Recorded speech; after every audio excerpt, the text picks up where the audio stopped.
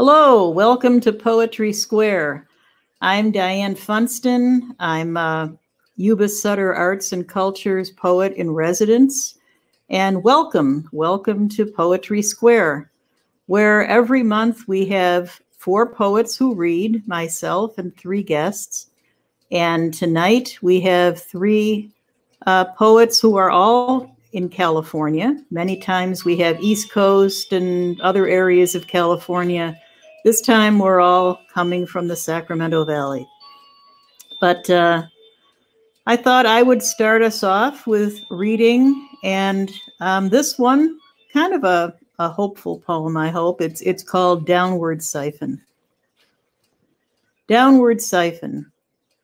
The siphon sucks the aquarium water down into a waiting red plastic bucket.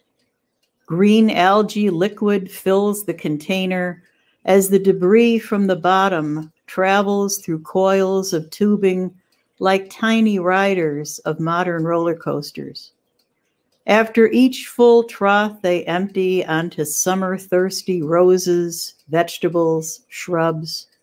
The waste of fauna becomes food for flora in a cycle of giving and receiving. Plants stand taller and open after their drink Fish swim with renewed vitality after replaced water. Gratitude comes in the growth of both recipients. A wish here for the case of humanity, where too often one takes and doesn't give, and some starve for the measured growth of others. And this one um, is called A Walk in the Woods. I love to walk in the woods. I love the green and nature. And this is kind of an homage to that a walk in the woods.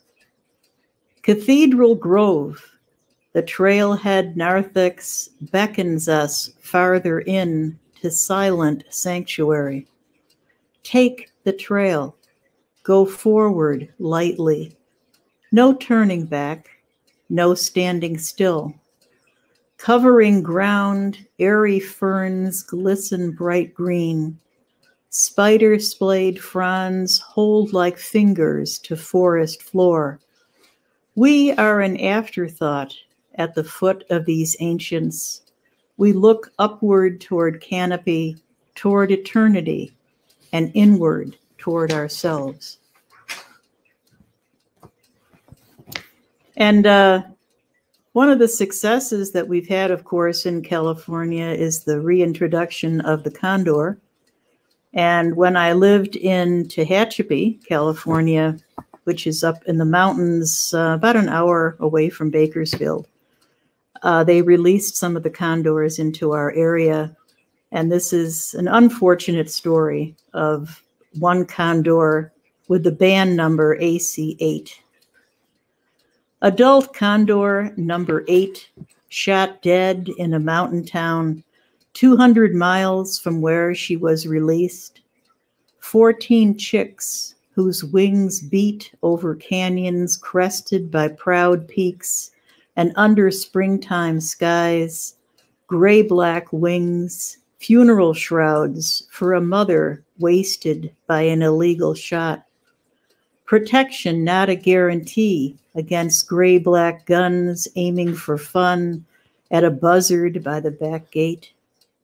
Adult condor number eight lies still against limestone dust, ground down for cement.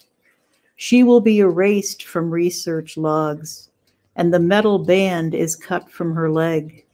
She will be erased from the sky and the nest, no longer adding young to increasing numbers, Adult, adult condor number eight, too late to feather your future.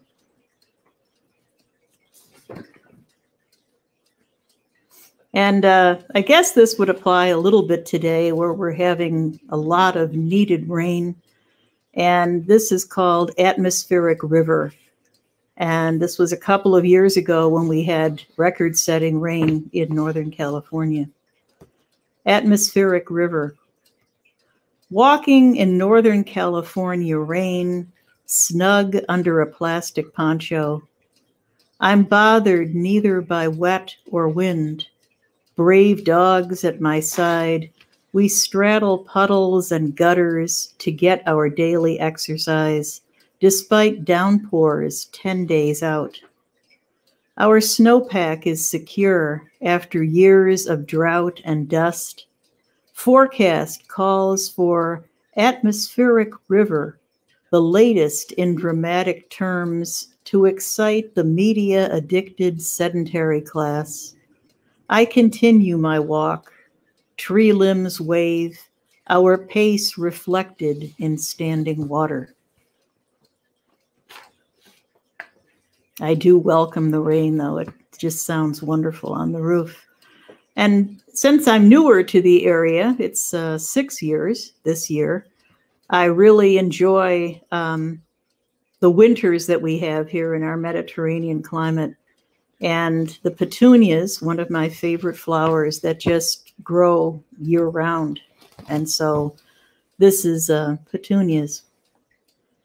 Pink petunias comfort without attempting to preach. When the blossoms, loosened by wind, quiver, or the petals or the stamen whisper, then release, the garden becomes silent as soil skilled hands reach upward to pick a bouquet.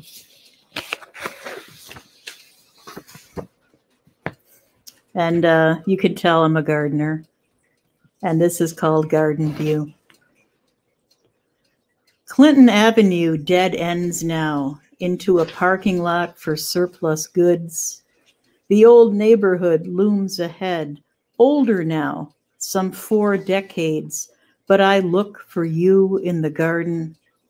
The snapdragons, poppies, and petunias I planted with you when I was a toddler are gone.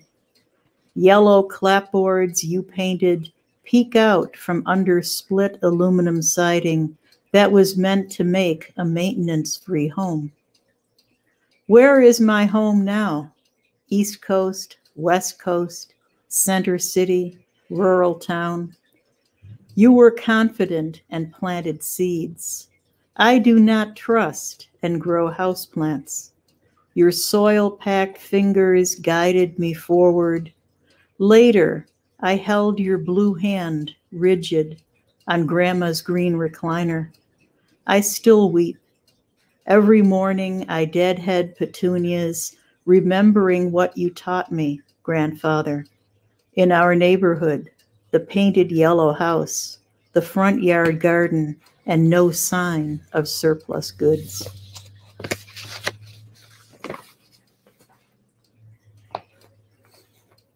And this one is called Hands.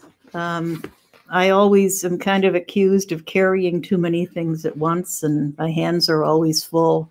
And this is a little bit about the different meanings of that. Hands. My hands are always full coffee cups, room clearing clutter, the picking up from others, or even notice that things are in the way. My hands were always full, a single parent to three boys, even though I was married to a live in, unconcerned husband.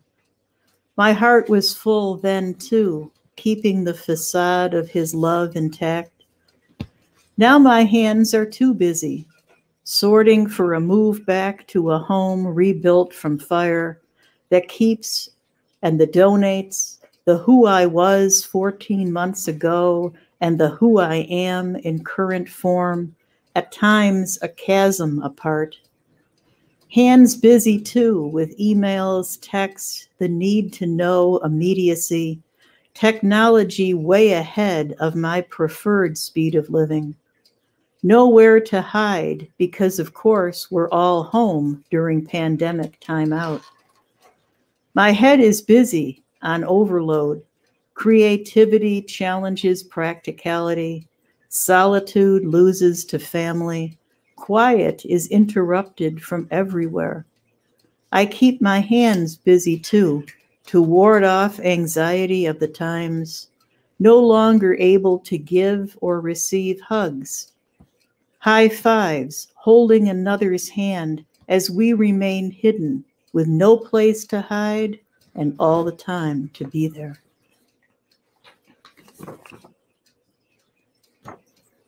And this is a poem called Roots. I like my roots to tangle, tributaries from the taproot down deep, divining rods to nourishment. But change, that constant companion, kept close ties this year. The pruning loss, at first devastating, forced new shoots to grow. Like an inexperienced rose gardener, in awe of how quickly wounds heal and spring forth with new life, I too stood amazed at possibility, gain accomplished only by losing everything almost. We came through the conflagration, the enraged herd of confusion looked towards home, that place you still have the key for.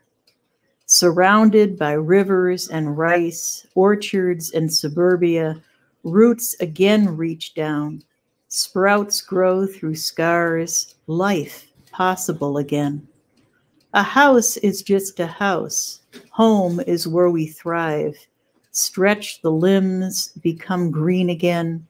Blood pulsating, mind awake, growing back home.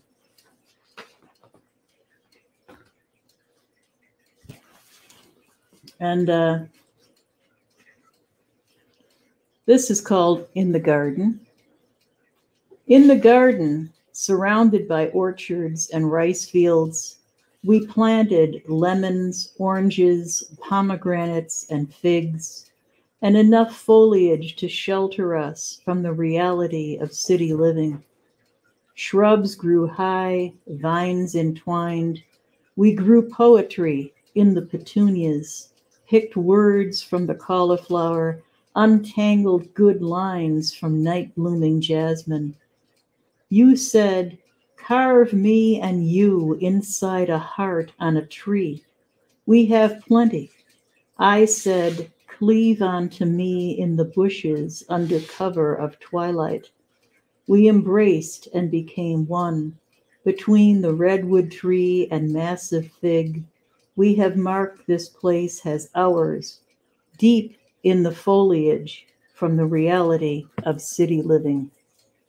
And now I'm going to turn it over to Roger Funston, um, who will read you some of his own poetry.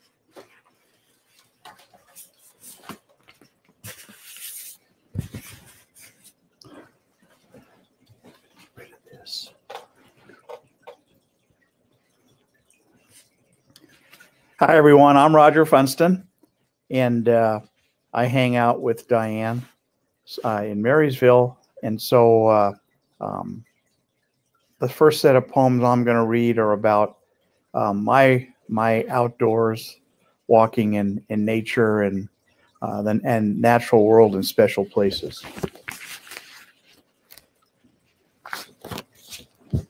Woods wandering. Early morning in the woods, moisture still clinging to the leaves from rainfall the night before moss spreading on the tree trunks, fungi carpeting the forest floor, wind whooshing, grass swaying, trees creaking. Layers worn to protect against the cold, the coolness on my face makes me feel alive. My racing mind quieted for a moment, listening to my breath. Condensation hovering around my mouth as I exhale, the rhythmic crunching as wandering feet travel along a trail of small gravel and earth. A walking meditation. Steam rising from plants warmed by the sun, songbirds twittering, squirrels scurrying, newts lounging, a woodpecker's rhythmic pounding, the distant sound of a roaring creek getting louder as I approach, the air caressing my skin as I peel off layers. I hike nearly every day, often returning to the same trails, seeing something new every time, usually a small spot with an interesting texture captured by light and shade in a certain way. I am grateful to have wonderful spots so close by and the freedom and retirement to wander in awe. Mexican ocelot. This is about a, I was a volunteer on a research project in Mexico. I walked through dry tropical rainforest, over hills, valleys, steep canyons, setting and baiting live traps, tracking your movements, trying to solve the puzzle of where you prefer to prowl. Most days the traps are empty. Some mornings we find you in the trap, excited to see you, but saddened that it must be through a cage. You are a magnificent creature. We tranquilize you, wait for you to slumber, measure you, record your spotting pattern, unique for each of you. We touch your fur through the cage, watch you groggily awaken, make sure you have recovered. You stagger at first, but soon regain your senses, dashing back into your world. For millennia, you and your ancestors have lived and died in this dry rainforest, one of the rarest ecosystems, looking almost like Southern California chaparral in January, flooded and verdant in July. But planned development will slice through your jungle. Surely we can take the time to understand your harsh but fragile world. Leave the best spots for you before taking the rest to carve up for roads and resorts.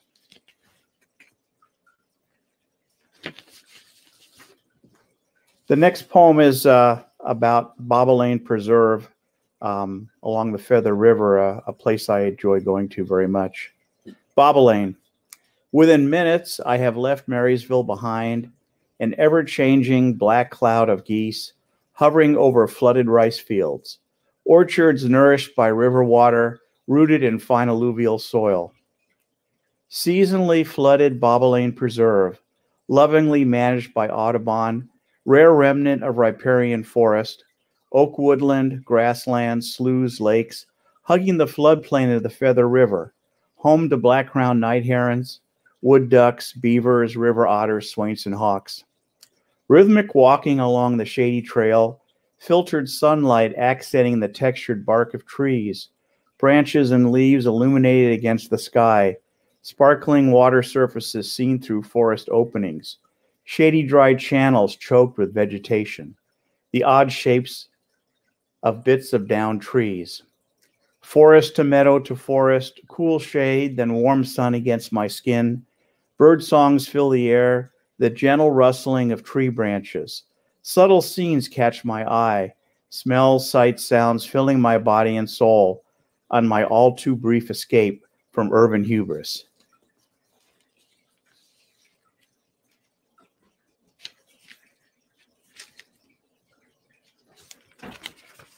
Next poem is called uh, Saving the Redwoods.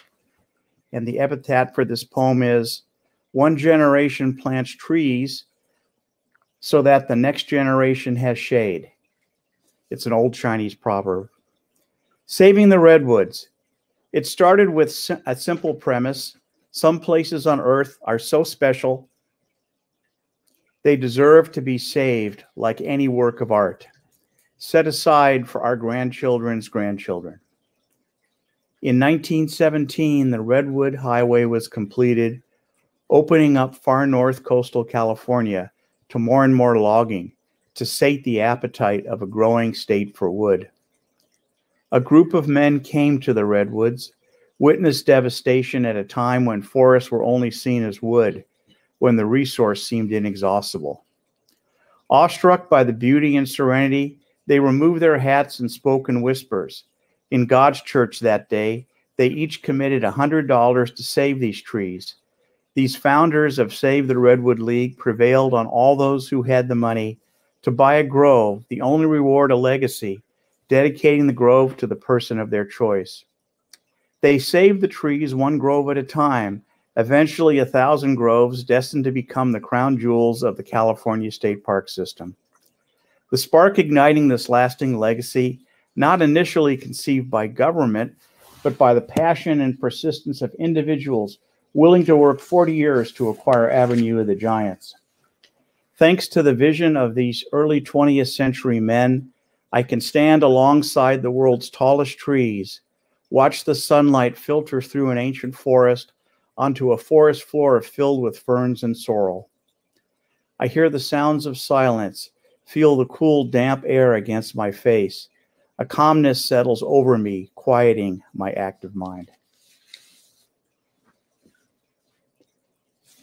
This next poem is a uh, um, thinking about when I'm going to be 85, what I'll be doing walking.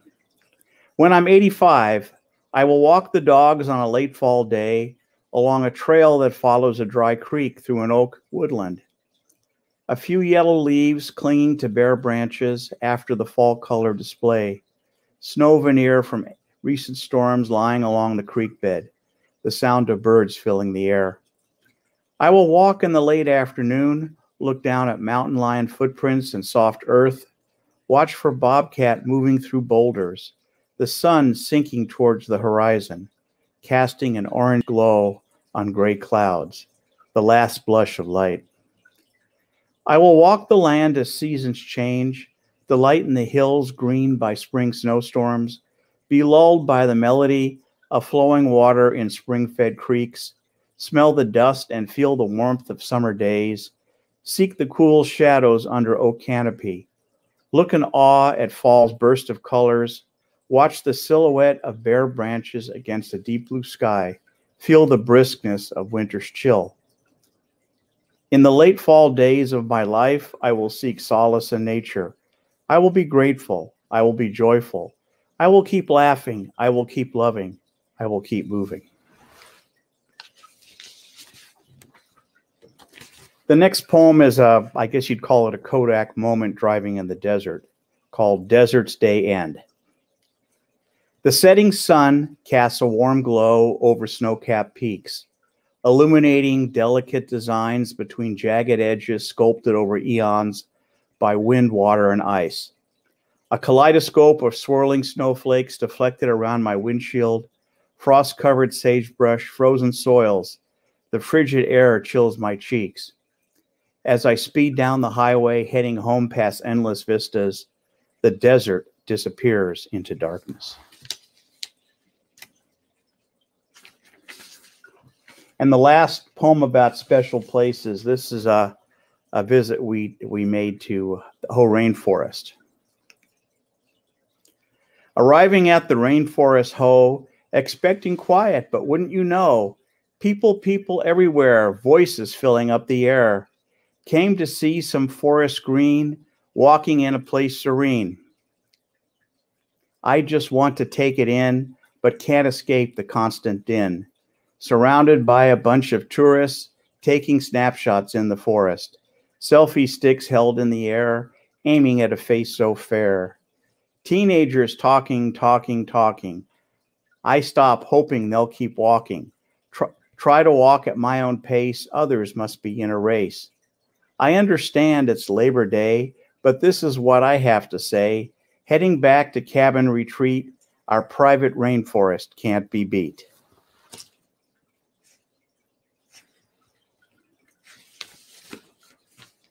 This next set of poem are about uh, uh, families and experiences and feelings. Um, and this first poem was called Grandpa Saturdays. He is dressed in blue blazer, dress shirt frayed, stained gray slacks, bad haircut, stubbly beard, vacant look. The monotony of the facility, the loss of independence, scheduled showers three days a week. He is able to walk still, comes and goes, sneaking in brown paper bags, alcohol his only friend for dulling depression's pain. 20 years ago, he was full of life, he used to walk so fast I could barely keep up. Every Saturday, I had barbecue beef sandwiches and lemon meringue pie. He had coffee and pie, rolled a mean backhand at the bowling alley. Root beer floats made with secret ingredients, cards dealt from the bottom of the deck, so I could win. He thought I didn't know, but I knew. I knew. I hear the slur in his voice when I call. I think he knows who I am, but I'm not sure. I want to be there for him, repay him for his love at a time when this was scarce and put downs plentiful. But I am 1,200 miles away, beginning my career rise as he slides towards his demise.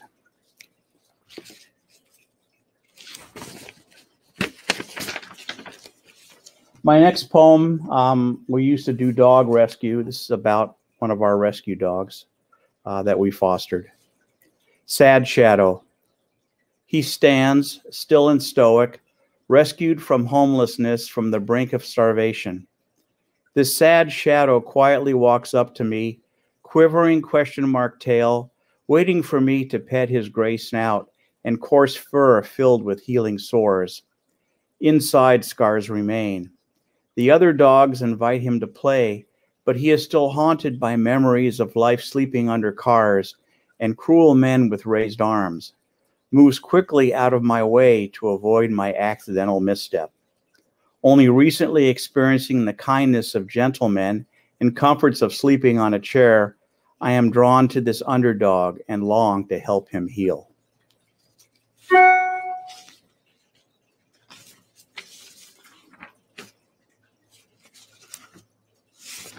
This is a uh, pre COVID poem when I was working called Lazy Weekend. It used to be so important to stuff as much as possible into a weekend after sitting in an office all week, full calendars, endless meetings, idiot bosses, unproductive nonsense. Now a lazy weekend is perfectly fine. Leisurely breakfast, watching our million dollar view, birds at the feeder, walking the dogs, bopping around town watching a movie, reading, afternoon lovemaking, napping, love, spend, love spending time with you. My four month sabbatical has been mostly wonderful, sometimes frustrating and disappointing, thinking about what is really important, finding out who are my real friends, a balanced life filled with community, poetry, live music, photography, travel, perhaps learning to play a musical instrument, open areas, room to roam to suffer the hassles of relocation or stay put at any cost. The uncertainty, the waiting, none of this entirely within my control. Learning to go with the flow, but all this angst and overthinking can wait until Monday because today I am having a lazy day. And my last poem um, is called uh, Day in Family Court. Got to court at half past eight Lawyer told me don't be late. Benches outside, courtroom filled, lots of clients to be billed. Man up front directing flow, telling people where to go. Lots of time to look around, lawyers nowhere to be found. People huddled in the halls, some on cell phones making calls, others planning out the day, all the drama on display. Lawyers striding, show no shame, confident in courtroom games. Not a thing for them at stake, another day of give and take. At long last, my, my lawyer shows X with her lawyer is in tow. Squeezed into a tiny room, talking, talking, feeling doom. Today we will not agree. My day in court will not be. Once again, court date delays. That's okay. The client pays. Thank you very much.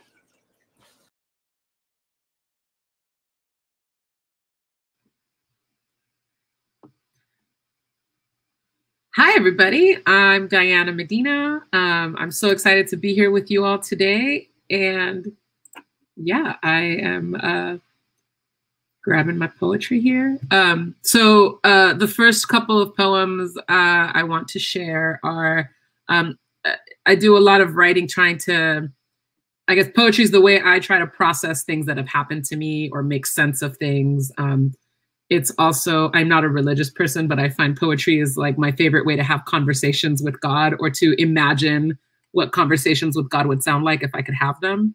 Uh, so some poems are about that. So i'll start with this one which is called walking in flight.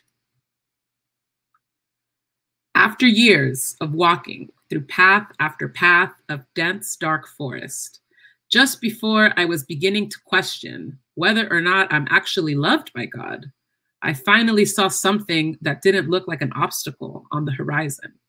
It was an isolated mountain wearing a crown of clouds off in the distance. It was standing there, majestic, high up over the trees and rocks that protect its base. A choir of birds with wings extended passed over my head as I admired it. They were gliding as the wind carried them lovingly towards the peak. They looked patient, way more patient than I would be on such a flight. Every time God tells me to keep walking towards that peak, I'm a little angry. Why can't I just get there already? Why do you keep sending me on these painful detours? When will I finally be able to arrive and wash the dirt off my dusty pink cheeks? I am so tired of looking like a hot brown mess. Why can't I just get there and feast my eyes on the beautiful view that those birds get to see on their journey? God smiles at me lovingly, wiping the dirt off my cheeks, and says, Because, my child, you are not a bird. This walk is the way you fly. Um, this next one is uh, based on a uh, incident I had with a with my big brother. So I am the youngest of eight children and uh, have regularly uh, used poetry to process some of the weird childhood memories and uh, mean spirited pranks that my brothers would play on me. So this is one of those. It's called Inner Child. My inner child is still pissed off about my brother scaring me the day before my first day of kindergarten. He told me the teacher would shoot me if I didn't know the Pledge of Allegiance by heart. He took me aside to help me practice. He said the teachers would carry guns in their fanny packs. And when the English words felt too heavy for my tongue to hold, he'd pull out his pretend finger gun and say, boom. I believed him. On my first day of school, I was so terrified, I tried to escape and got stuck in a hole in the fence. I cried when they got me out of it. The teachers got me unstuck and walked me into a classroom, and I sat on the carpet shaking and thinking I'd be dead soon. A little boy named Charlie sat next to me. He held my hand as I cried. He kept saying, Don't worry, I'm with you. He told me that every day that week when I would cry. Adult me tells my inner child it's okay. I say, Our brother didn't know what he was talking about. Look at us. We didn't die. We have two degrees now. Then I agree to play Tetris with her while eating Lucky Charms later. Unlike my parents, adult me can't afford to buy her all the sugary breakfast cereals she wants. Yeah, that one is uh, interesting since it was it happened way before some of these incidents with um, you know school shootings and things but it is it is definitely um, it was definitely a mean spirited prank that uh, i regularly remind my brother about. Um, and yeah and that little boy charlie was a really great friend for me that he was the first friend i ever made and so we stayed friends all through elementary school which was also really nice. Um, this next poem is called heal me faster i am in a hurry to heal and afraid at the same time being paralyzed by fear and worry about what is waiting on the other side of healing really sucks. Contrary to what spiritual Instagram posts would have you believe, awakenings are sloppier and dustier than cleaning out a cluttered garage. I know there's a goddess in me somewhere, but what am I supposed to do when some days that goddess doesn't want to shower or eat or put on pants or go to work?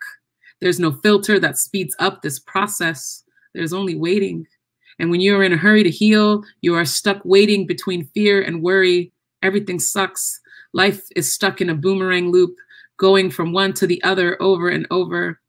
Instead of patiently waiting for healing, you tighten your grips around your hurt. You retreat into a suffocating sphere of your inner influence because having control there is better than waiting. You are way too hurt and too anxious to be patient too tired to be resilient, and too annoyed to wait for your blessings. You want them all and you want them fast. God looks at your tantrum smiling and says, That's nice. Um, yeah, so those are my childhood slash conversation with God poems. Um, I recently also have been experimenting with writing poetry about pop culture and things that are going on in the news. And so when the um, uh, Oprah interview that she did with uh, um, Meghan and Harry about the royal family and them leaving the royal family. I got very interested. I fell down a rabbit hole of information and then wrote a few poems about that stuff. So here's a few about my processing of the royal family uh, drama and scandal. Um, this first one is called Who Saved Who? It seems to me that maybe Meghan saved Harry. Maybe his desire to run from royal duties to spend his days worshiping this mixed race queen is his idea of heaven. I bet she makes his brain and body come with the same intensity. Maybe she saved him from a family who failed him the way they failed his mother all those years ago. Maybe there are better things to aspire to in life than fulfilling archaic family obligations. Toxic cycles only end when someone decides to walk away. If that isn't an improved fairy tale ending, I don't know what is. This next one is uh, called Royal Family on the same theme here. Just like Game of Thrones, but with more psychological warfare, way more cameras, and not a single dragon. Just patriarchy, power, colonialism, dressing themselves in white spandex and making pacts with tabloids to play fight like wrestlers to entertain the masses. Some are faces, some are heels, some are trapped. All of them are in on it. And uh, this next one is called Princess Diana. Oh, I lost my place. There we go. What did I know at 19? Wounding ourselves to make others proud is all we know how to do at that age. We were raised on diets of obligation and tradition. We know what it's like to be starved for love. How many of us have been naive sacrificial lambs turned problematic black sheep after our awakening? There was champagne named after your daddy, and It's a Boy chants in the streets the night you birthed another zombie for their male chauvinist colonial machine. I wonder if you heard them. Maybe that's why they called you determined and domineering, simply for having personal boundaries. The cameras that hunted you replaced flashes with gaslight before you realized you weren't crazy. They were. Girl, the same shit happened to me yesterday. Um, that one was inspired after I watched a uh, documentary about Princess Diana and just realized how young she was. I was very um, taken aback by just all of that um, story. Um, this next one to shift gears a little bit is um, again, I also use uh, poetry a lot to process kind of interesting conversations or things I learned about. And I started to try to wonder about past lives and uh, whether those are a thing and what they mean. Um, so this one is about that, and it's called Alma's Passport. A past life is like your soul's passport. Your body is the travel vessel. This life, your life, is the vacation you are going on together. This moment is your awakening. Let's call your soul Alma. This passport shows you where Alma has been. It gives you context for where you can go to heal your things and also visit her things. Sometimes her things will look like your things. When that happens, that's a repeating pattern, like eating at different restaurants, but always ordering the same mistake. This passport is like a divine guidebook to plan the eternal vacation that is your life. Alma's passport is like a treasure map. It is Yelp, Craigslist, Amazon, Groupon, karmic online banking, a dating app, and a flashlight all rolled into one. Trauma is like sharing a suitcase with Alma. Sometimes Alma leaves her used underwear in there. You don't have to wear them, but you should make sure to wash them with yours because eventually you will end up wearing them by accident. Um, this next poem is called Rubbing Lotion on My Skin. So again, I always like to um, explore writing poetry about everyday experiences and, and trying to find the poetry in moments. Um, so this was one where uh, I somebody challenged me to write a poem about rubbing lotion on my skin. So this is what I came up with. When I do it, I imagine I am marinating myself in softness. When this creamy substance seeps into my pores, I hope it makes me taste more tender and smell more sweet. I want it to make me fall off my own bones so my lovers can make meals out of me. I hope eventually it makes someone think I feel like a place they can call home. I do it so much my shadow and reflection have become jealous they can't touch me. If the only hands that ever touch me this way are my own, I hope they will always be friendly. I am tired of enduring harm by my own hands. tired of parts of my skin feeling foreign, no longer wanting to be a stranger to myself. I want these hands, my hands, to hold me, to love every curve and crevice on this body until my spirit becomes one with my skin. Doing it now is like rubbing prayers into my flesh. May my knees and elbows never know ash. May my face and hands never know dryness. May my neck never know wrinkles. May my palms and fingers be affirmations saying I love you when I rub myself with these creamy scented ointments. May they make me as soft as I am strong, as moisturized as I am realized, as fragrant as I am free. And uh, this next one is uh, called, and I will I will close with this one. It is called uh, Inner Teenager. So I did my inner child, and I also explored my inner teenager here. So my inner teenager feels restless about the unknown we are walking through. She is pacing all over the house, trying to come up with a plan to fix every worry. She paces anxiously, blurting out fragments of a master plan, saying things like, This is how we will start a business. This is how we will get a new job. This is how we will find a new man. This is how we will lose weight. This is how we will read 100 books. And this is how we will get three more degrees. She is making adult me very anxious. She always took matters into her own hands. When my parents told her she was too young to work, she snuck out and got herself a job anyway. When my mom told her she was not supposed to do that, she said, Ni modo, empiezo la semana que entra. Too bad, I start next week. She even forged my dad's signature on the work permit. It was easy. They both do their M's the same way. My mom lectured and yelled at her, but had no choice but to accept it. My dad was angry at her for the forgery, but he admired her. Her decisiveness, her work ethic, her resourcefulness all made him say, Ay, mija, te pareces tanto a mí. You look so much like me. Adult me tells my inner teenager that it's okay. Yes, we are both upset about having gained so much weight. Yes, we are both worried about not having a job, but we've been able to live in leggings and bra free for the last six months. Let's not ruin the sweet liberation of our boobs today just because we don't know what will happen tomorrow. All right. Uh, and with my last minutes, uh, I was looking for possibly a short one to do. Um, I don't think I can find it. So um, with my last minute, I'll just do a couple of plugs of things. So um, I'm an educator and a poet and a storyteller, um, and I uh, have a, a, website called Off the Clocker, and I do, uh, you know, poetry and uh, educating and workshops. And um, one of the things I like to do on my website, I have a merch shop, which uh, will be linked here for you all. But um, I like to put poetry on my uh, on inspirational merchandise like coffee mugs and journals and t-shirts. And so um, if you are interested, uh, you can you can find uh, more there. Also more about my poetry on my website, offtheclocker.com. Um, and I post new weekly poems every week uh, as well on there. So thank you all so much for having me. I will go ahead and turn it over now to uh, Sarah, who will be next.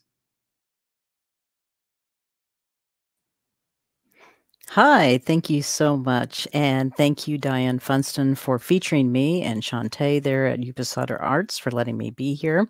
My name is Dr. Sarah Oktay. I'm a chemical oceanographer uh, who's kind of new to poetry, but as I've been uh, a poetry host for about 15 years, uh, helping my husband, Len Germanara, run poetry venues around the country. And I have a brand new book called Sifting Light from the Darkness. And Shantae's been kind enough to put the link uh, for it, which is very inexpensive uh, uh, for both Kindle and Amazon in the chat. And uh, it's great to be here. I'm going to start off with a couple of light poems, um, kind of talking about the pandemic. First one is called Laguna Creek Walk, the Pelicans. The white pelicans at Laguna Creek seem out of place so far inland. They remind me of the skipper in Gilligan's Island, big white belly, preening their feathers, they will swat you with their captain's caps if you let them. A sweet childhood memory of inventiveness, silliness, and community. We all thought we were going on a three hour tour 12 months ago, but we are still stuck on the island with nothing but a coconut radio to squawk into, and no one is listening to the professor. So the next one is called Physics Playground. I'm not a physicist, I'm a chemist. So if you're a physicist, just forgive me. Uh, physics Playground. Muons race past the neutrinos to get to the jungle gym first. They shake their fists as the sparks fly when they grab the handlebars. Neutrinos don't care. Long thought to be massless, they strain to outrace the light, interact with the other lepton cousins. We both love physics. At least I think we both do. I certainly do. It is elegant, non controversial, straightforward, necessary. Without it, we all fall down. For comfort and coziness, Len and I watch reruns of The Big Bang Theory every night. We have seen each episode about a billion times. But still, we settle in for the one routine that makes us happy in these days without end within four walls. The next one is an oceanography poem called The RV Pelican, describing one of the oceanographic tours I've done for my research. 20 liters, 20 liters, 20 liters. The water piles up in acid clean 20 liter high density polyethylene jugs. Surrounded by seawater, we must bring our own double distilled, ion free, extremely pure fresh water. Water so pure it cannot conduct electricity. Hundreds of liters in total queued up along the starboard side of our 123 foot vessel, the research vessel Pelican, named for the island we launched from, nestled in a lobe of Galveston Bay.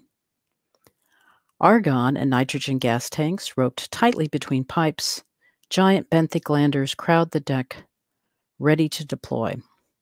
100 meter long spider legged nets to close upon their curled prey. Gangway tied up, we sail out in awkward, disjointed lines to mine the sea for data.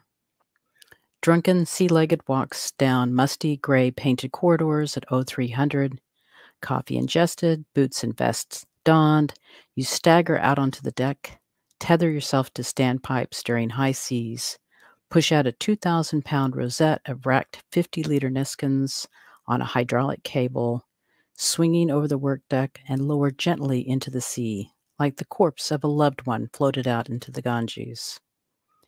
Curtains of inquisitive squid dart like frantic ghosts left and right in the spotlights.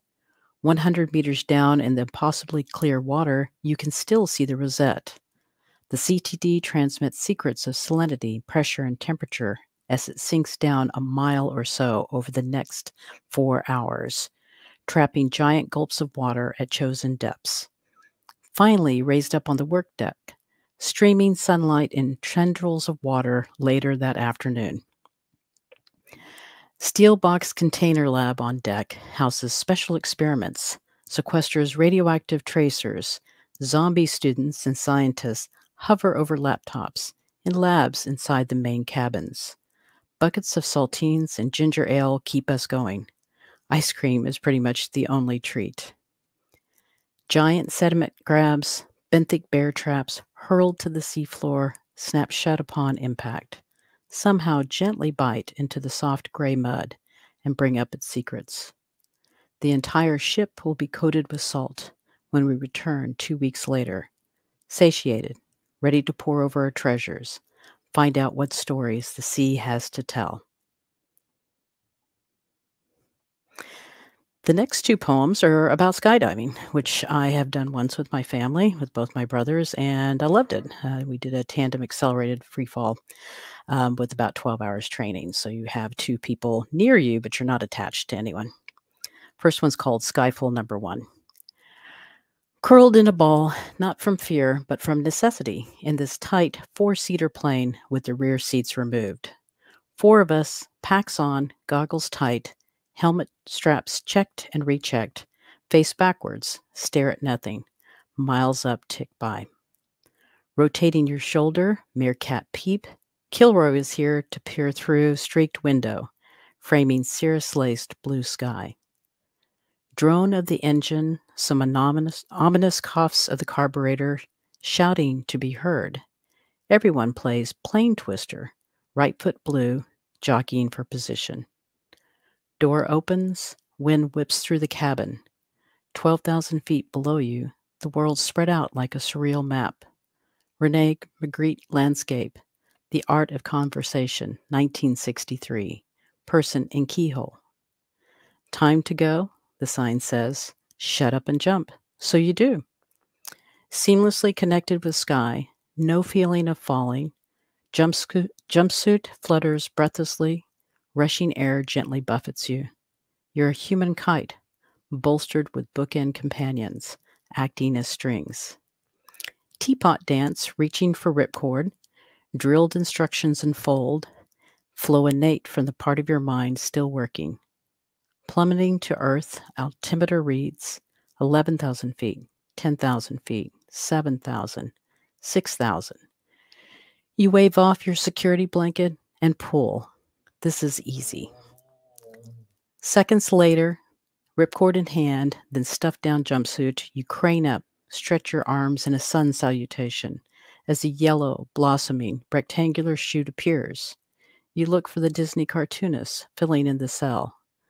Drifting down, you've become a balloon, a child's toy.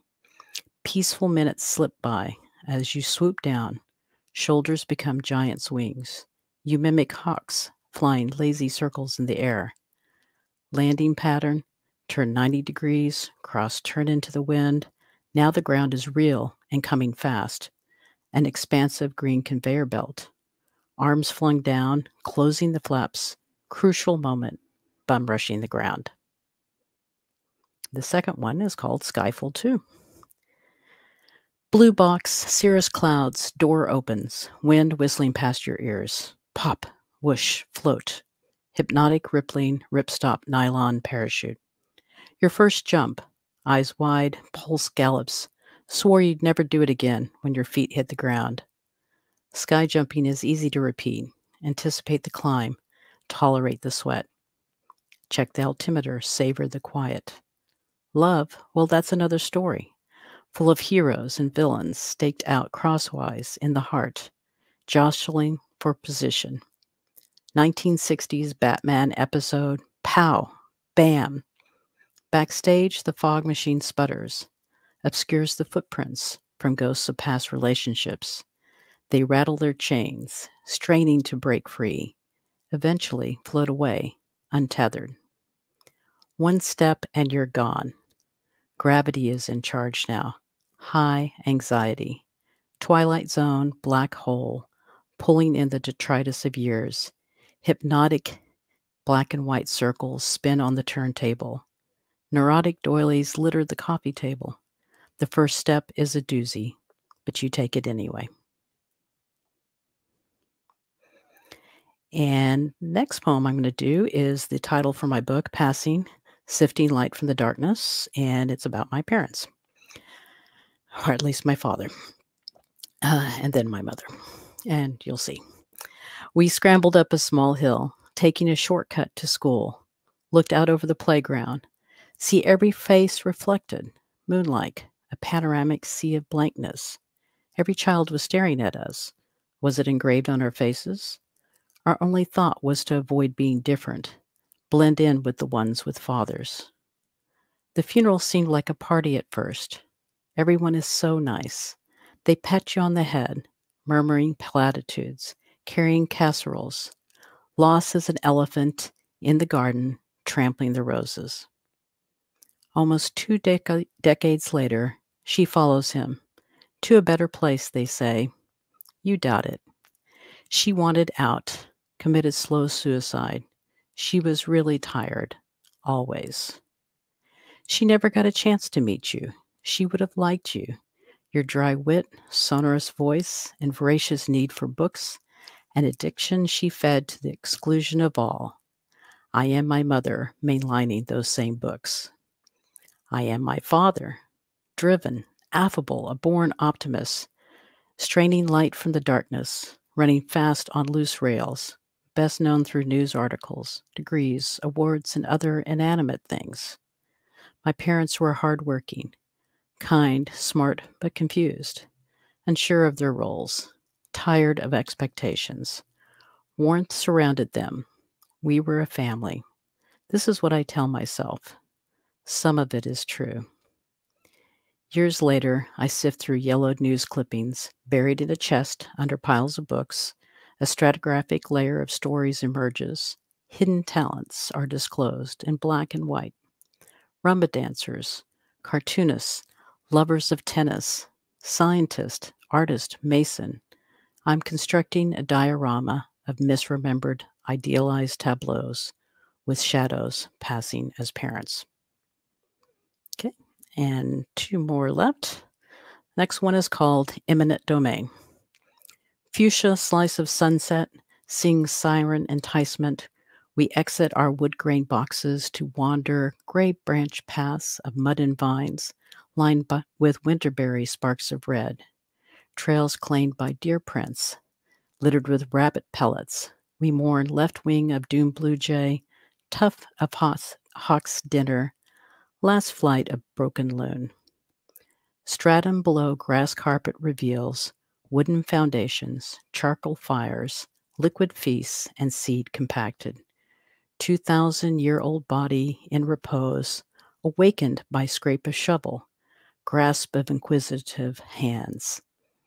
We have to know who lived here, whose spirits we hear rustling in the wind, which bones belonged to the beach and the sand, which bones belonged to the salt spray, and which ones should be interred on marble slabs or laid beneath carved slate in ordered rows within town gates, taken by eminent domain.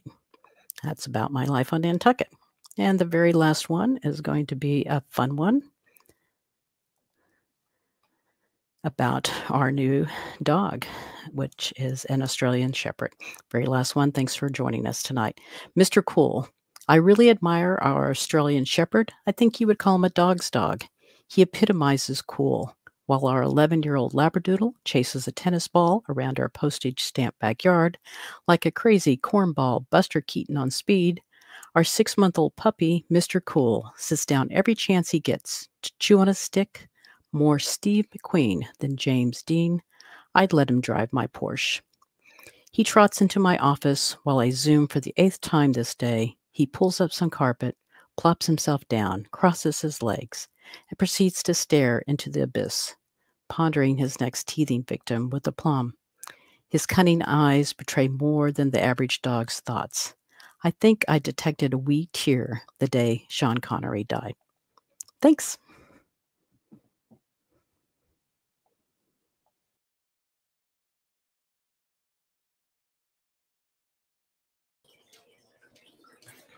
And there you have it. Another evening with Poetry Square, um, all the corners filled. And I want to thank my guests, Roger, Diana, and Sarah, for a wonderful evening of diverse poetry. And next month, for April, we will have Marge Merrill from upstate New York and Tom Lynch from Tehachapi, California and Jack, um, Jacqueline Smithson Howard from Sacramento. And thank you again, everyone, and have a good rainy evening out there. Good night.